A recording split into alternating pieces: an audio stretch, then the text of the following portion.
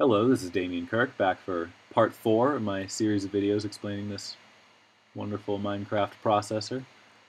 Alright, so this video is going to be about all the stuff that's over on this side, which is the clock and the program counter and the branching hardware. So the first thing to look at here is the clock. Um, basically the way this works is as long as this isn't, right now it's stopped, but as long as this isn't on, this torch will turn on, and after a long delay through all these repeaters, that signal will turn the torch back off, and once that off signal comes back through, then it turns on, and it'll just cycle like that, you know, on and on until it gets stopped again. So every time that there's a pulse from this torch, it goes through this, which is just a, little pulse shortener. I think I've heard it called a monostable circuit. Basically, that just ensures that it's only a couple of ticks instead of staying on the whole time the clock is on. And that goes through this, which updates the program counter, and through this line, which goes to the write signal. So it gets ANDed with the reg write uh, control signal. It says if this is an instruction where we're writing, do it now. And same with the, the print signal on, on the, the output hardware. So uh, let's take a look at, first of all, what uh, is holding this clock off right now. So this torch is powering this redstone wire, which is holding this torch off. The way to let the clock run is to turn this torch off by activating this wire. And there are two things that do that. One is this line, which is coming from the run button over there.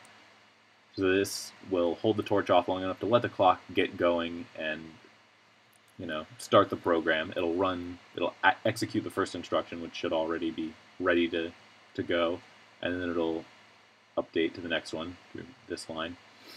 That, and that's on a slight delay, so the write and everything will go through first. The other thing that will hold this off is this line over here that's going over the uh, program counter. Now the way this works is these are uh, D latches, I guess.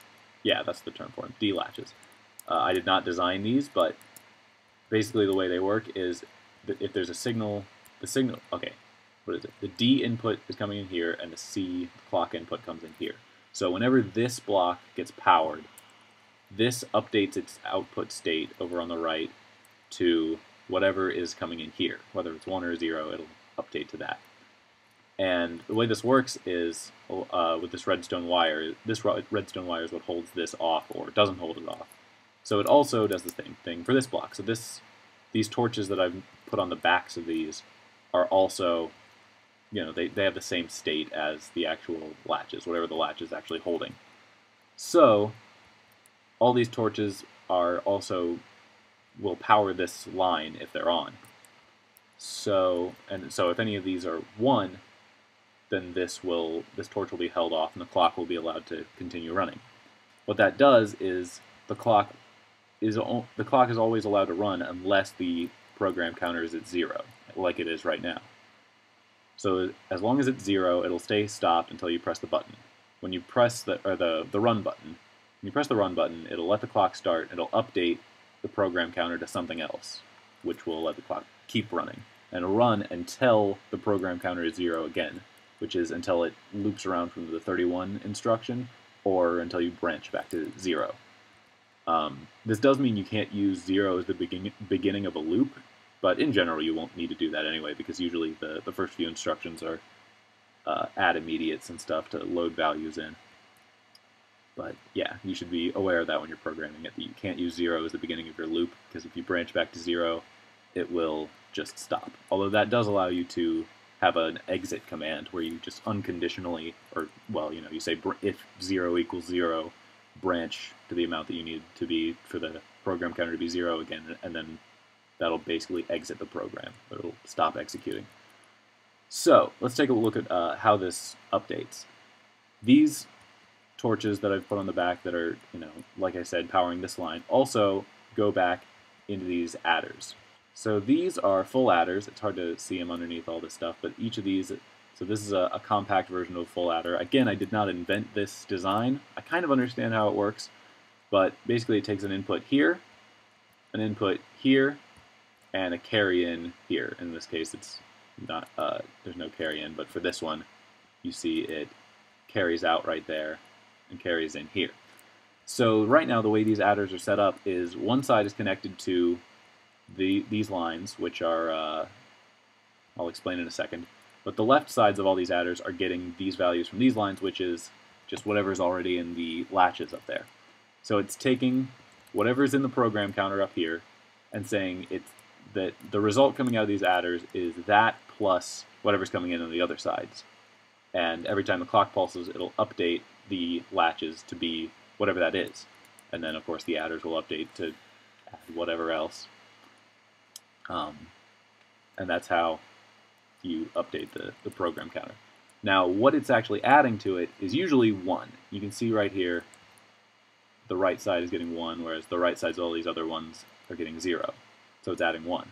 But if this line is on, this is the branch line, like uh, telling you this is a, a state where we're going to branch, and these are all, this signal is ANDed at each of these with these values from the actual um, the actual instruction. These are bits 5 through 1, not 0, but uh, 5 through 1, which are the branch amount bits. So you can see this one, well this one is a little bit different because it's supposed to be 1, but if this line is on, this will hold this torch off, so this will only be 1 if that line is also on.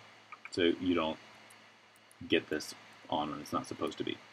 If the branch line is off, then the torch is allowed to be on so that it's always 1. But for the rest of these, it has to be the branch line is on, where, you know, this is an instruction where we are branching, and that bit is on in the instruction. So if we were to, let's say we were to turn this on right now, uh, artificially. Let me just stick a lever on there. Now you notice that what's coming in here is now that, that bit, that and that bit are now on, and I, I believe yeah, this one is too, but it's because it's an...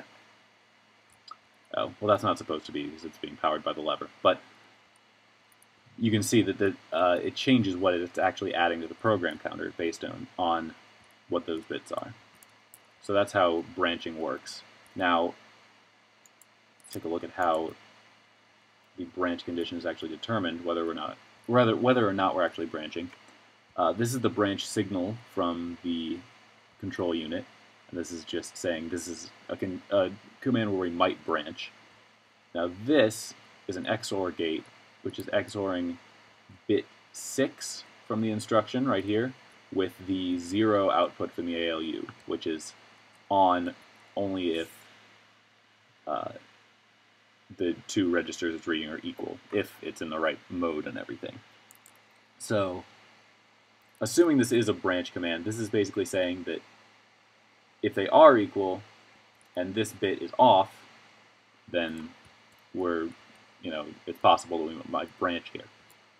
Or if this bit, if this is off, which means they're not equal, and this bit is on, then we might branch here because this, this bit is just switching modes between branch if equal and branch if not equal.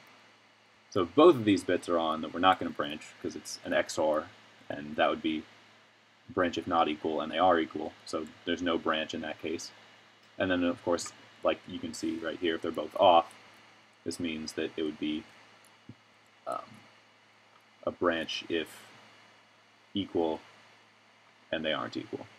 Now in this case, the ALU isn't actually set to the right mode, but assuming that we are on a branch command, the 110 opcode, it would be. And then that gets ANDed with the branch uh, line, just in case this you know gets mixed up somehow. And that determines whether it's time to branch. So hopefully that made sense. I feel like there's there should be more to say. But basically then these lines from the, the latches go into the decoder that I explained before for the instruction file. Um, yeah, hopefully that explains everything. I think that's everything for over in this section. Next, I should be covering the register file right over there. Uh, yeah, Stay tuned for more. Thanks for watching.